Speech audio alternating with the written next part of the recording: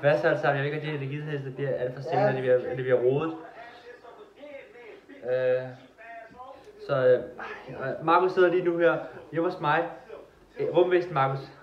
Men det har ikke bukser på, fuck. Ja, og øh, han sidder og streamer. I kan se det lige nu, gå ind, det er lige beskrivelsen, gå der og se en stream. Og jeg skal smage det der. Jo, øh, det er kun nuller. Jo, jeg har spillet det Ja. ja. før. Jeg bare lige streamet story. Ja, og vi skal smage den her energidæktest.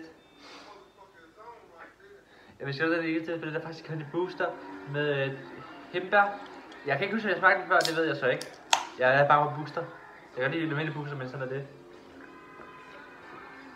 Okay, det er god. Jeg har smagt den før, det er god.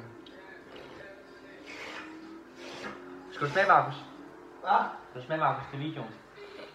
Video. Ja. Husk like, subscribe til ham der. Og til mig, fordi jeg har brug for det. Jeg prøver på at slå Jonas' subscribe. Booster. Det for fanden, det skulle forbydes. Det er svært. Øh, jeg vil give den... Altså, Red Booster på, på, på 6. Den er god nok, men jeg vil nok kun give den 3,5. Så hvad vil du give den, Markus? Det er langt under skalaen til noget. Ja, så tager jeg som 3,5. ja, okay. Tak fordi I så med. Husk at like, subscribe og se Markus stream nedenunder.